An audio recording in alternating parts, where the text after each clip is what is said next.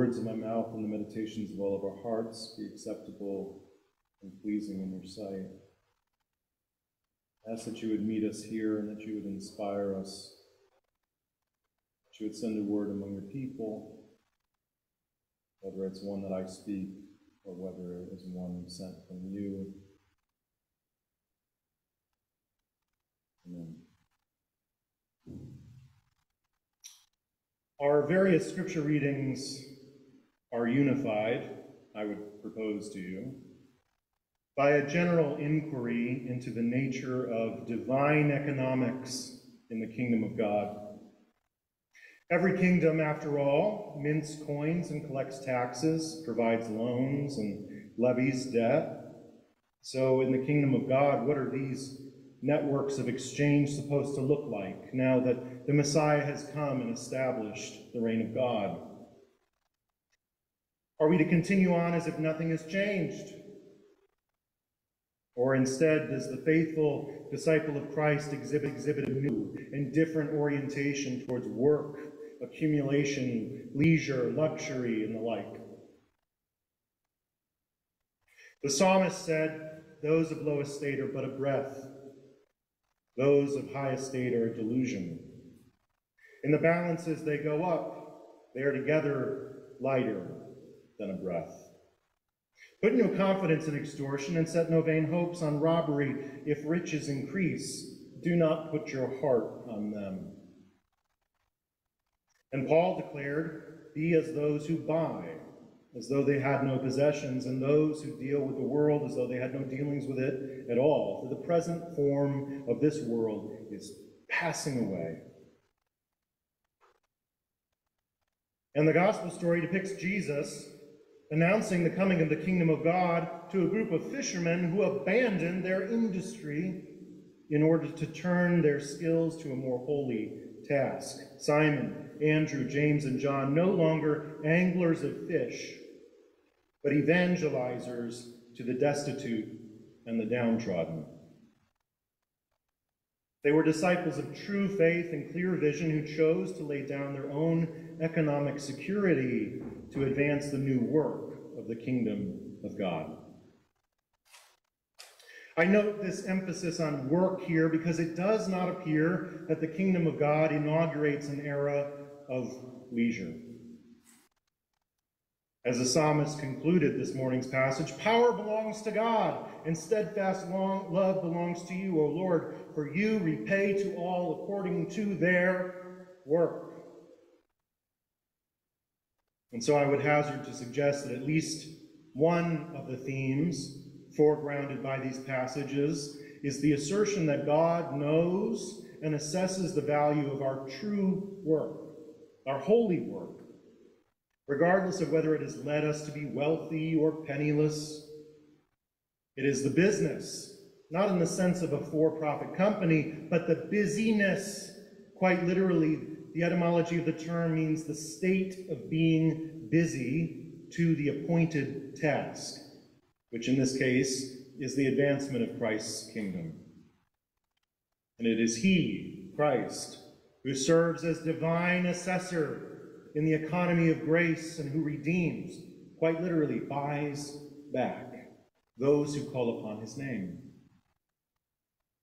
Now, I'm laying on the economic metaphors pretty thick, but the scriptures are rife with them.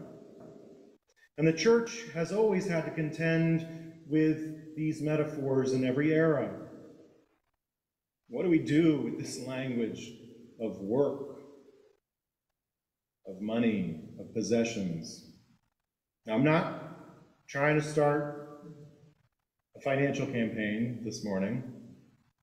These are just the scriptures that we've been confronted with by the lectionary. Though they've also been somewhat timely in some reflection that I've been engaging with Judy on in regards to the thrift store and our mission. You see, this question of our relationship to work and to money, it's really, it was a very pressing issue for the Wesley brothers. Methodism got its start during the Industrial Revolution, and the manner in which faithful disciples ought to orient themselves to this new style of commerce was a major question. The English Industrial Revolution was a deeply compromised endeavor. It certainly brought a lot of wealth and a lot of social mobility, but it also led to an explosion of exploitative child labor, extraordinary pollution of air and water, indentured servitude, and it was part of, or connected to, ongoing British colonial projects. And as a result of that, many people were made socially vulnerable as the centuries old class system and the entirety of the British social order were upended. And that is precisely where Methodism thrived because those early followers they heard and believed and accepted the call to walk as Christ had walked, to not simply fulfill their civic and social obligations, but in fact to take up their cross and follow Christ out into the world. And when they did that, they took to the streets and the warrens and the slums to feed the hungry and clothe the naked and tend to the sick. They built orphanages and hospitals, and they did everything in their power to provide what we would now think of as social services, because those didn't really exist back then. I've seen more than one scholarly treatise, credit Methodism as being the first public health campaign, or the first modern one at least. And to this day, our church's global health initiatives remain one of our evergreen contributions to the world. Now, with that in mind, one might expect that John Wesley would have some issues with the emerging economic system that was creating so much harm, even as it generated so much wealth. And he certainly did. Though his proposed remedy was rather unexpected and somewhat surprising. You see, he told his followers to go out and make as much money as they could. He told his followers to go out and make as much money as they could. As a working class and small business oriented movement, Wesley called upon everyone to dedicate themselves to their worldly vocations. Whatever it is that you do, do it better than anyone else. Be more faithful and disciplined in the performance of your duties. Arrive early, stay late. Show forth the disciplined life in every aspect of your work. And so, to distinguish themselves in their industriousness, many Methodists embrace this hyper disciplined lifestyle that wouldn't be too unfamiliar to some of our present day advocates of the 5 a.m. wake up time and the lifestyle of the grind. And yet, the rationale, our rationale for doing those things, differs quite drastically from those proponents of self development because in our world, it's not supposed to be about self. It's not supposed to be about us in the first place. You see, it's true that John told people to go out and make as much money as he could, as they could, but there's more to that story. Because there's always the temptation to become overly preoccupied with the acquisition of wealth, to become an end in and of itself, to, for it to become the goal. And working hard to gain as much as they could was never John's goal. And in fact, the second part of his movement, this Wesleyan economic ethic he was developing, has to do with saving as much as we can. Earn as much as you can, but it's not just so that you can go buy nice things, and it's certainly not just for the sake of having money in and of itself. He says, save as much as you can, or put otherwise, here's a fun quote from him Abstain from fashionable diversions, from reading plays, romances, or talking in a merry, gay, diverting manner. Your plainness of dress, your manner of dealing in trade, your exactness in observing the Lord's day. You're doing pretty good at that one, by the way. Your scrupulosity. That's a fun one. Your scrupulosity as to things that have not paid custom, your total abstinence from spirituous liquors, unless, unless in cases of necessity. I'm not sure what the necessity would be.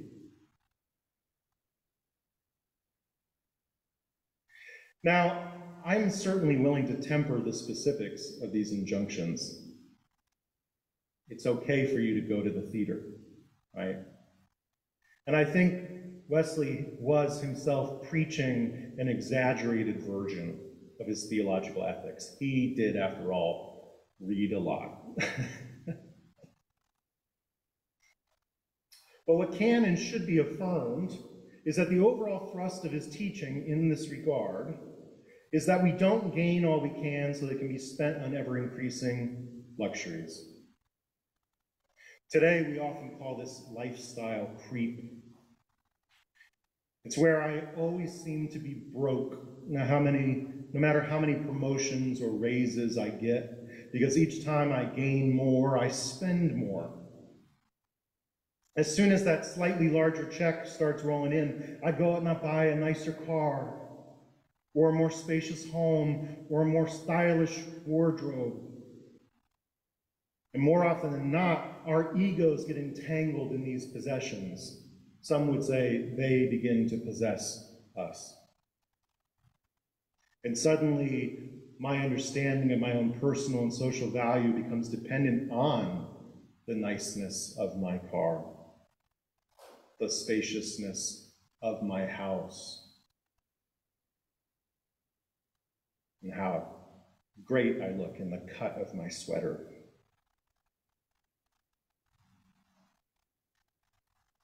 And yet the scriptures are clear, both the ones this morning and throughout, pretty much throughout the whole corpus of it.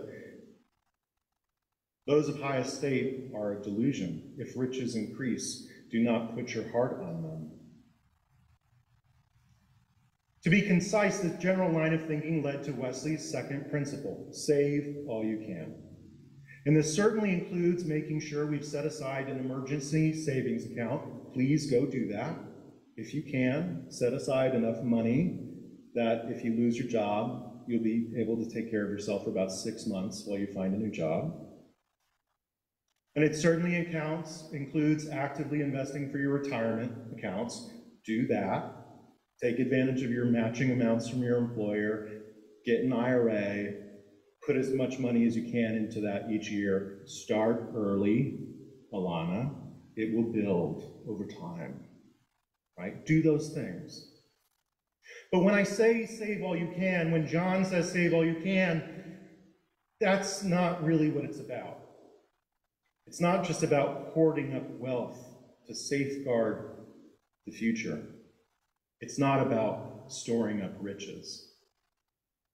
And importantly, I think this is what Paul had in mind in the First Corinthians passage when he said, Be as those who buy, as though they had no possessions. It's the idea that living the faithful Christian life is that in trusting God and leaning into that spirit of presumptive generosity, that even those good things that fall into our hands, we don't grasp onto them, but continue to lift them up to God and look for how they can be made available for the good of everybody.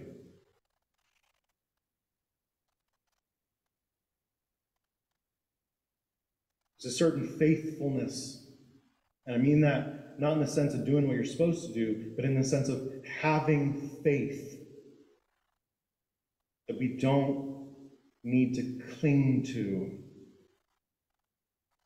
these possessions, these things that we buy, but that they can pass through our hands and we trust that God will take care of us and also that our, the community will take care of us.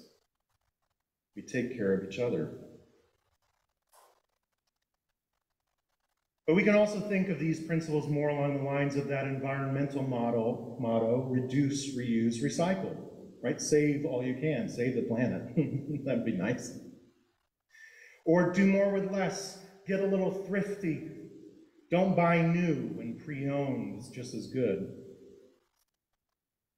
But again, we, we do all this.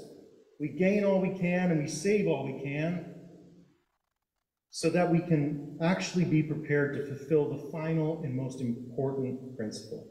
Give all you can. That's, that's the whole point.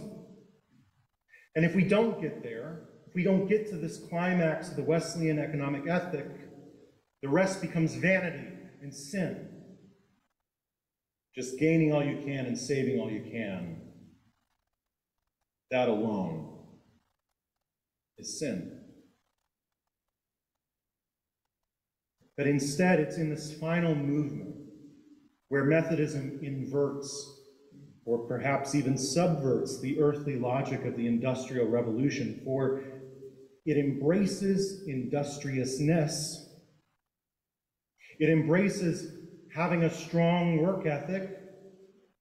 Methodists have typically been identified with having a very strong work ethic. That's true. And I don't want to lose that, even if there are some of us who work a little bit too much. Judy. Having a strong work ethic is important, but in the Wesleyan Methodist ethic, it's not to benefit me, and it's certainly not to benefit the business owner. It's to benefit the poor. We work hard so that we can help more. We work hard so that we can help more. There's a book, I'm coming to a close, but there's a book I found in the archive that I'd never heard of before. I'd never seen it before, which is rare, called The Wesleyan Movement in the Industrial Revolution. And the author, who was a clergy person from the New York Annual Conference, who was a pastor here but also wound up teaching uh, sociology of religion at NYU. Um, the author, Wellman Warner, fundamentally grounded this economic ethic. He did an analysis of it, and he, but he grounded it in the idea that the Wesleys were committed to being fully awake to the present moment.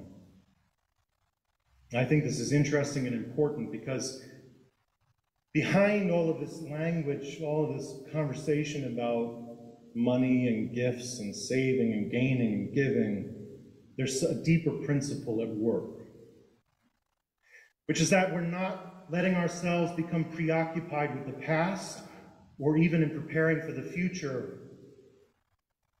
That can get in the way of what God has put in front of us right now. The people God has put in front of us right now.